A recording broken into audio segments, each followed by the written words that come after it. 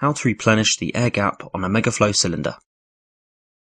Water intermittently dripping or flowing from the overflow on a Megaflo cylinder is usually caused by the air gap not being fully charged. This video will show you how to replenish the air gap and solve the problem. Step 1.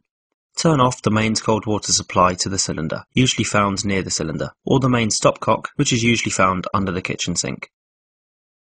Step 2. Open the lowest hot tap in the property. Step 3. Hold open the temperature pressure relief valve. Water will pour from the valve.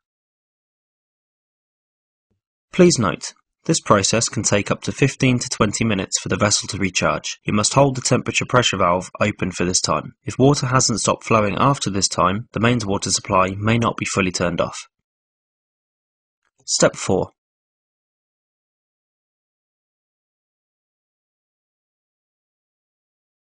When water stops flowing from both the valve and the hot tap, close the temperature pressure relief valve.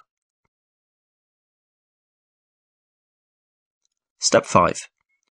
Open the mains cold water supply. Step 6. When mains water is turned back on, water will pour from the hot tap.